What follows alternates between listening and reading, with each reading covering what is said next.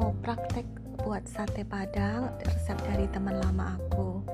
E, bumbu-bumbunya aku tulis di kolom deskripsi silahkan dilihat ya nanti. E, bawang merah aku karena nggak punya yang kecil aku pakai yang besar red onion. Ditambah dengan bubuk kari katanya biar lebih sedap aja. Kemudian ada jahe daun jeruk serai lengkuas asam aku mau blender lombok merahnya dan bawang merah juga jahe. Karena aku nggak punya kunyit yang fresh aku pakai kunyit bubuk saja. Uh, semuanya di blender kecuali daun jeruk serai lengkuas dan asam.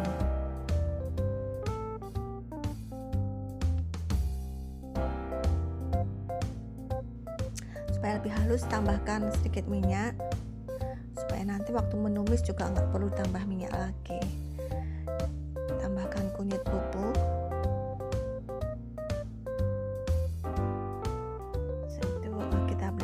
halus.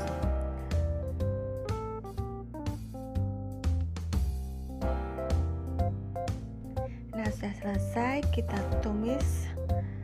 Kita tumis sebentar aja atau sampai warnanya sudah menjadi sudah berubah dan pekat dan apa baunya harum.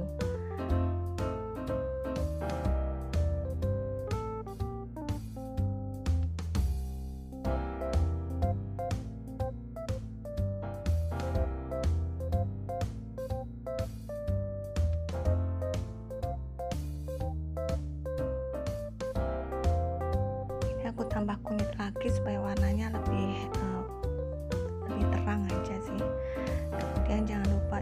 masukkan uh, serai yang sudah dimemarkan lengkuas yang sudah dimemarkan dan juga uh, daun jeruk yang sudah dirobek-robek supaya baunya keluar ya. Kemudian kita tumis uh, sampai warnanya berubah dan pekat dan uh, baunya wangi. Supaya nanti uh, masakannya jadi lebih sedap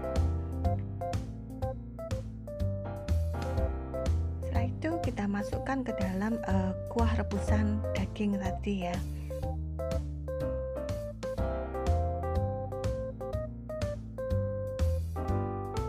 Ini dagingnya sudah uh, setengah matang.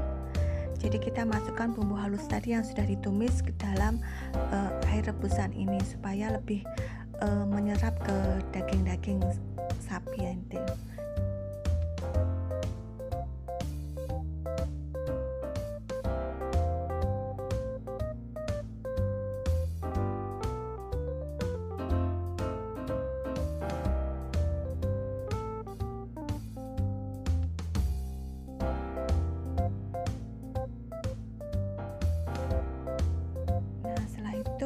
tambahin uh, asam.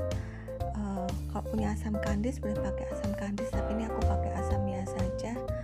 Kemudian tambah uh, merica ketumbar sedikit jinten. Oke kita diamkan dulu sampai nanti daging menjadi empuk. Sementara itu aku rendam tusuk satenya dalam air juga aku masih punya sisa tempe aku juga mau buat uh, dicampur dalam bumbu sate padang tadi. Uh, daun kunyit jika ada kebetulan aku masih punya ada di freezer. Tambahkan juga garam gula atau penyedap juga boleh.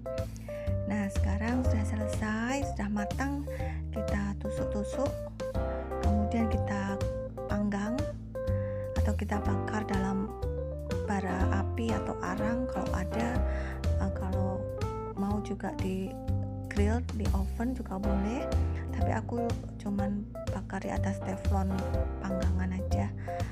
Uh, karena daging ini udah matang jadi tinggal dibakar sebentar aja.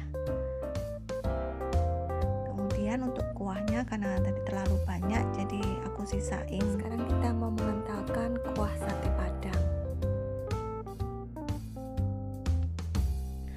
untuk mengentalkan kuah sate padang ini aku uh, buat pakai tepung beras dan ditambah dengan sedikit tepung sagu. Uh, takarannya nah tergantung dari kuah jumlah kuah yang uh, mau dikentalkan ya.